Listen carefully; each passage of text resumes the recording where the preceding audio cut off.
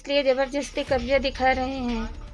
राविंद्र शुक्ला, राकेश शुक्ला। कर रहे थे, अभी तक कोई सुनवाई नहीं हुई, ताला नहीं तोड़ा।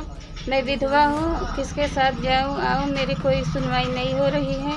मैं साहब गरीब हूँ, ताला खुलवा दीजिए। मारने पीटने की धमकी हमेशा देते हैं। हमेशा धमकी देते हैं, मार डालूँगा, काट डालूँगा, ससुराल से आओगी तो।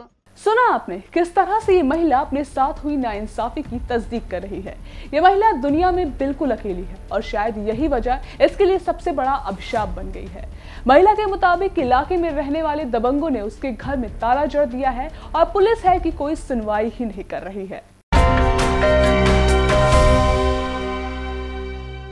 नमस्कार, मैं हूँ खुशबू पांडे और आप देख रहे हैं न्यूज़ टाइम नेशन की खास खबर। तस्वीरों में दिख रही इस महिला का नाम है गीता देवी। गीता अमेठी ज़िले के रामगढ़ थाना इलाके में मौजूद गाजीपुर की रहने वाली है। कुछ वक्त पहले गीता के पति की मौत हो गई। वहीं जब मायके लौटी तो उसके पिता का भी देहांत हो गया। गीता का कोई भाई नहीं था, लिहाजा वो मायके में बिल्कुल अकेली पड़ गई। मायके की जायदाद का कोई वारिस न होने की वजह से पूरा मकान गीता को मिल गया।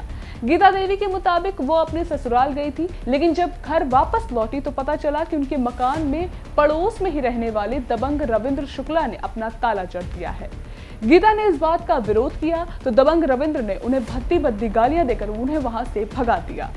इस बात की जानकारी तुरंत पुलिस को दी गई, लेकिन कई दिन गुजर जाने के बावजूद अब तक पुलिस ने कोई कार्रवाई नहीं की है। साहब, मेरी सुनवाई नहीं की जा रही है। थाना रामगंज से मेरे घर में ताला लगा हुआ है। आज तीन दिन हो गया मैं ससुराल से आई तो अपने आप देखी थी तो ताला लगा था। ताला कौन लगाया है? ताला राविंद्र शुक्ला और राकेश शुक्ला। इन लोगों ने ताला लगा लिया मैं ससुराल से आई पता लगा ताला लगा था। बोले कि भैया ताला खोल दो बोले हमारा घर है तुम्हारा नहीं है यहाँ से भाग जाओ। अच्छा घर किसका है? घर मेरे पिताजी का था रामबली शुक्ला। वो मर चुके हैं। इस समय भाई बहन भाई माता नहीं है भैया भाभी भी नहीं है पूरी विरासत मेरे नाम हुई है। इसलिए ज़बरदस्ती कब्जा दिखा रहे हैं। कौन दिखा रहा है? राविंद्र शुक्ला राकेश शुक्ला। हम्म। इसकी शिकायत इसकी, इसकी शिकायत कहीं की आप? इतने रामगंज थाना में किया है साहब। उसने आज और कल कर रहे थे अभी तक कोई सुनवाई नहीं हुई ताला नहीं तोड़ा। अब क्या करूँ साहब?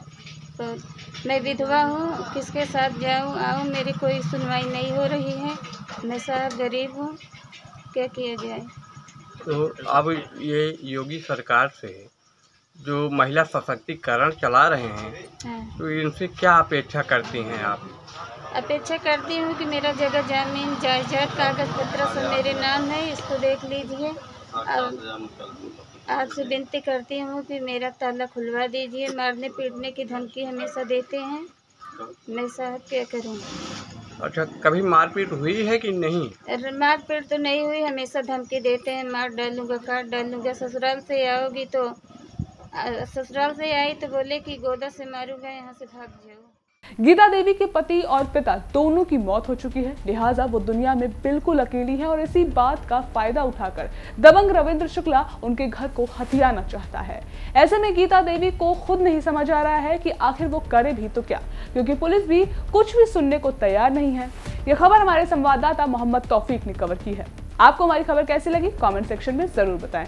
अगर आप ये खबर फेसबुक पर लाइक और फॉलो करें और अगर आप यूट्यूब पर देख रहे हैं तो चैनल को सब्सक्राइब ज़रूर करें। नमस्कार।